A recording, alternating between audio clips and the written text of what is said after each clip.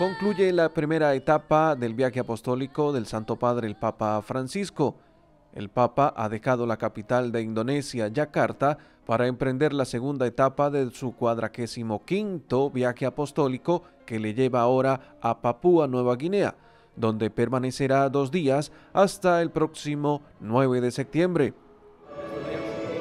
De verdad, claro que es uh, un momento muy de gracia, muy de bendición para cada uno de nosotros, no solo para sacerdotes, sino que todos sus uh, uh, creyentes católicos, porque de verdad es una como que algo muy raro ocurre y viene la visita de un, una persona muy importante, importante, número uno del mundo y para tener este este amor hacia nosotros, el país Indonesia.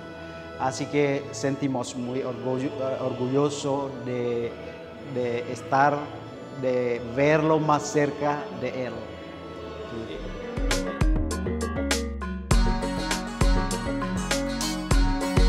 Hoy el Papa Francisco llega a Port Moresby, es la ciudad más grande y el principal puerto de Papúa Nueva Guinea. Tras la ceremonia de bienvenida que tendrá lugar en el aeropuerto, el Papa se trasladará a la Anunciatura, situada en la colina donde nació el primer pueblo autóctono. Cenará en privado y luego descansará para mantener al día siguiente un encuentro con las autoridades y un encuentro con los responsables pastorales de Papúa y las Islas Salomón.